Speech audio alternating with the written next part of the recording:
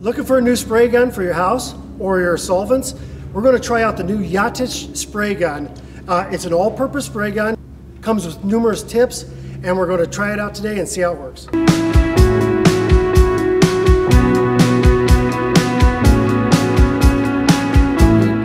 We purchased this off Amazon, and the link will be down below. It comes with the, the uh, main body, the sprayer assembly, a wrench, six different tips, a uh, cap for the uh, container once you're done spraying, a viscosity cup, and of course the directions.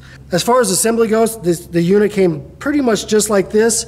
It's uh, really simple to assemble. You just push this in like this and snap it in. As far as the tips to be used, it comes with uh, numerous ones that come from 1.2 to a 3.0. We're going to be using the 2.0 tip today um, because I have my uh, just standard house paint mixed fairly thin and I just want a decent coverage. And uh, otherwise, if it was a little bit thicker, I'd probably put on a bigger tip. Um, it comes with the wrench to take that off. To put on the new tip, it's simple. Just unscrew the cap here and the tip is right there. It's a brass tip, which is nice. And just screw that on and screw it off and just put on the tip that you desire. And that's pretty much it for that, and it's ready to go. So we'll go ahead and just show you the viscosity. So viscosity, all that is saying is what is the flow of the paint. So uh, for recommended for uh, water-based paints like we're using today, uh, the, uh, the chart on the direction said between 20 to 40 seconds.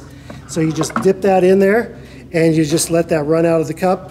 And we're at 30 seconds on the paint that I just mixed. I just mixed standard water in with it.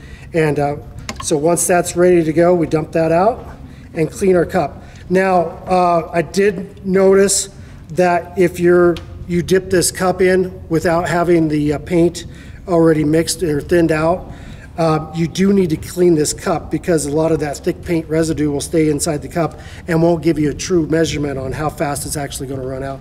So, uh, best thing to do is after you measure, see how fast it's running out, go ahead and wash your cup out and, uh, and retest it again and get it to the desired uh, viscosity.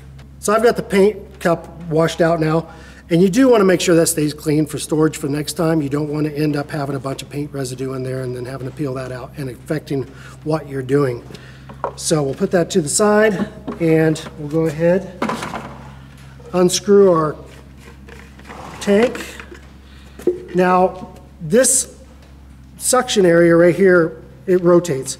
I'm going to be doing mostly painting up like this. I want the tube to be sucking from the bottom of the cup, so it's, I'm actually always having paint in it until I run out.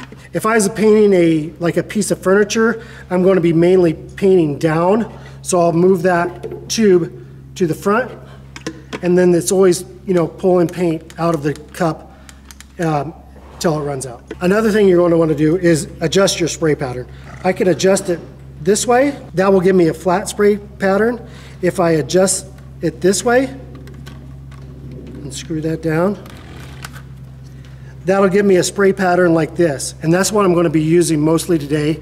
Um, you can adjust it either way you want, and uh, you'll find out which way your spray pattern is. Basically, it's going to be opposite of what it looks like. We're going to go ahead and load our tub up.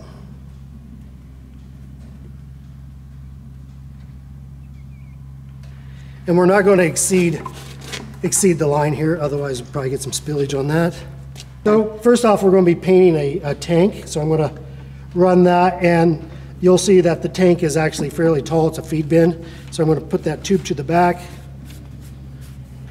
screw that and give it a nice little snug. You don't want to over tighten it because then you, you do have to get it back off. All right.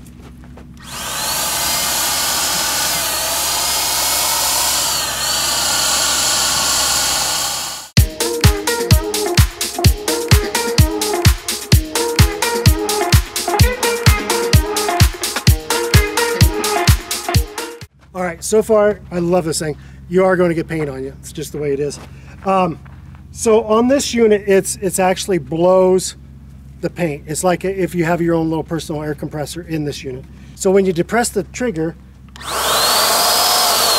it start it kicks on the blower as you depress it more, it starts to also push out the paint as well.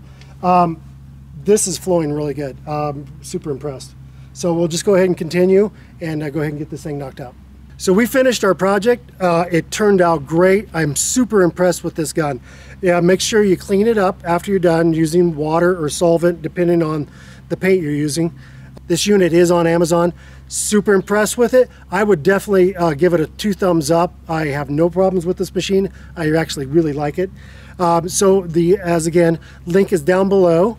And if you have any questions or comments, let us know. Uh, and always uh, give us thumbs up if you like the video and subscribe. All right, thank you for watching DIY on the house.